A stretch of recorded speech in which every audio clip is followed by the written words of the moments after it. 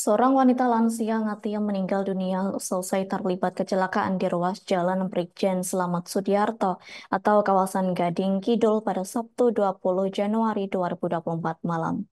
Korban kala itu mengalami kecelakaan lalu lintas saat kendaraan yang ditumpanginya dengan sang adik dihantam oleh oknum anggota TNI Angkatan Darat. Anak dari Ngatiam 70 tahun, yakni adik Sigit Permana, warga Kelurahan Joyosuran, Kecamatan Pasar Kliwon, mengatakan bahwa sang ibu meninggal lantaran mengalami luka di bagian kepala. Terkait hal, hal itu, informasi selengkapnya akan disampaikan langsung oleh rekan wartawan Tribun Solo. Andreas Kris, silakan untuk laporan lengkapnya.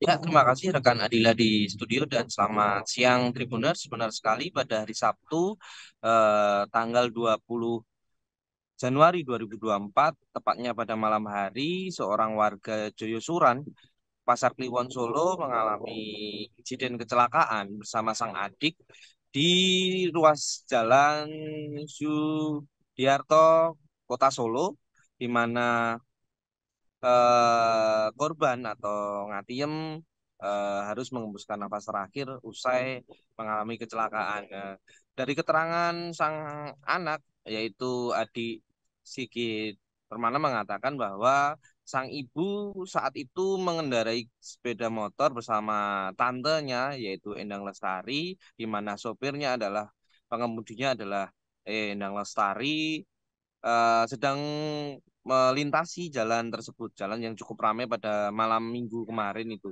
Uh, saat di lokasi uh, kendaraan yang dikendarai oleh dua wanita lansia tersebut um, bersenggolan dengan salah satu kendaraan yang ada di yang melintas di jalan tersebut mengakibatkan uh, korban jatuh atau terlempar ke ruas jalan bagian kanan sehingga uh, uh, kendaraan yang melintas yaitu mobil dinas uh, meng, uh, tak sengaja menabrak korban hingga mengakibatkan korban meninggal dunia.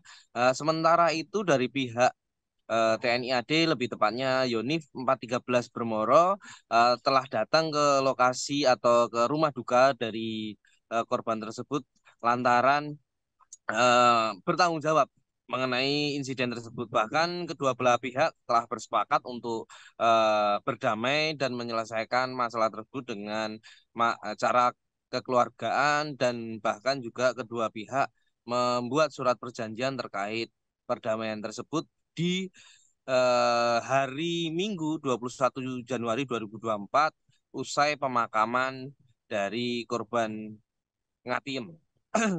eh, untuk kondisi dari adik korban sendiri yang merupakan eh, sopir atau pengemudi sepeda motor yang dikendarai oleh kedua korban eh, masih mengalami luka-luka dan nampak syok ketika saya berada di lokasi atau di rumah duka dari uh, korban kecelakaan tersebut. Namun demikian, baik dari pihak keluarga maupun dari pihak Yonif uh, 413 Bermoro Karanganyar telah bersepakat masalah ini diselesaikan dengan kekeluargaan dan bahkan dari pihak dari uh, Brigif sendiri atau Yonif sendiri uh, siap menanggung atau bertanggung jawab atas kejadian tersebut. Demikian laporan dari Solo, saya kembalikan ke studio.